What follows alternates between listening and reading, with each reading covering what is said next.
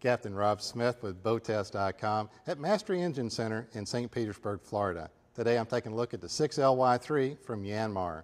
Now this is either a 380 horsepower, 440 horsepower, or 480 horsepower engine, sub 6 liter at 5.4. Let's take a look. This reliable marine diesel engine is an inline six cylinder engine with direct injection and seawater cooled turbocharger.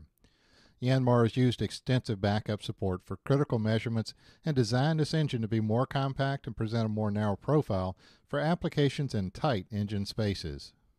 Beginning with the left side, we have the secondary onboard fuel filter. Behind this plate is the electronic control unit. Below is the fuel injection pump system and manual pump for priming the system and purging air. Yanmar is one of the only companies that filter both the primary and bypass oil separately. I really like the thoughtful placement of a tray and drain to catch the drips of oil when changing filters. At the bottom we have the oil dipstick and a weight-saving aluminum pan. Also on the left side is the intercooler and oil cooler with hoses that would continue into the transmission cooler which is not yet installed. In this case we have a ZF transmission, but you can also have the Yanmar Kanzaki or others. From the top of the engine we can see the primary oil fill for the 24 valve, 4 valve per cylinder engine.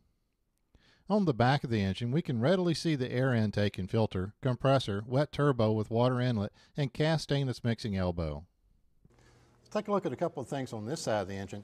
Yanmar casts their own manifold, so you have your exhaust, uh, you have your manifold and your, um, your heat exchanger all in one piece. Course, you've got your oil dipstick on this side as well, so either side you can get to. But then also look at this. This is our starter. It's a gear reduction starter, so it doesn't have the big bulk that so many of them do. It also takes less amperage to spin this. Behind the lightweight safety covers on the front, you can see the 80 amp alternator as well as one of the two belts to drive the accessories. If you're looking for the power and performance of an engine that can get you better than a 30 knot cruise or stay in a more compact shape and give you the horsepower you need, take a look at the 6LY3 from Yanmar.